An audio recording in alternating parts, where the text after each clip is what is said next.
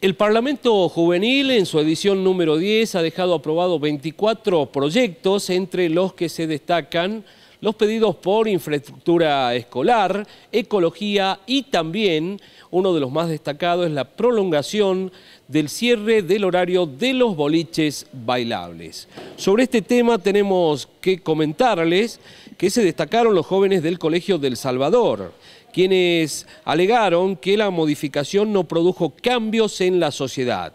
ya que el consumo de alcohol no ha disminuido, ni tampoco los accidentes de tránsito. Esta fue una de las propuestas más debatidas por los estudiantes del nivel medio que ocuparon las bancas en la legislatura de la provincia. Varios diputados, como es el caso de Eva Cruz,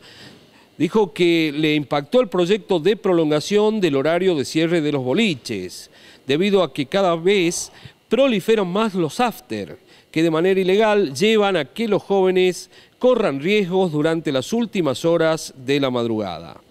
Un tema que deberán prestar atención y observar el pedido de los jóvenes, ya que a partir del próximo año también podrán votar.